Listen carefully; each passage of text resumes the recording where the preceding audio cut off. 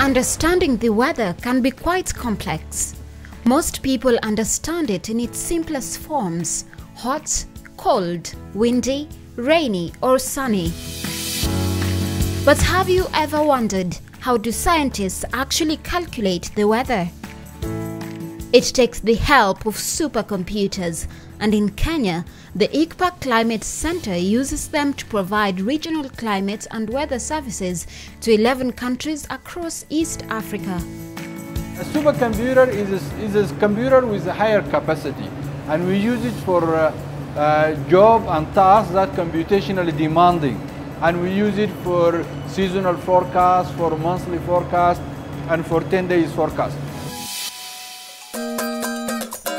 Predicting daily weather and long-term climate patterns require the use of computers to calculate various weather parameters such as wind speed, temperature, atmospheric pressure and rainfall. Information from weather stations and satellites feed into a mathematical model. The model solves a set of equations that describe the physics of the atmosphere. Without a supercomputer, it would take months to produce a single one-day focus for the region. We do climate services, basically seasonal forecasts, 10 days forecast of climate, and the implications that those forecasts have for, for the climate sensitive sectors within the region.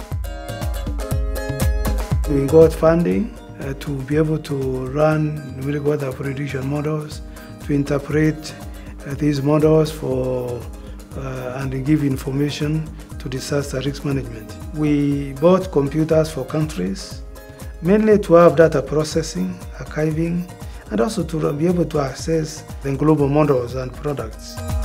Its partnership with UNECA and the African Union Commission and funding from the Nordic Fund, the Swedish Development Cooperation Agency, and the European Union, the ClimDev Fund at the African Development Bank helps countries to produce critical climate and weather information.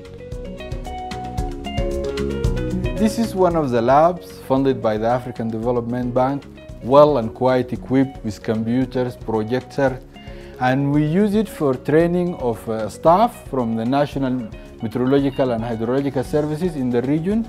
We use it also to host uh, research scientists from uh, member states and from abroad, and it is also used by scientists from the ICPAC.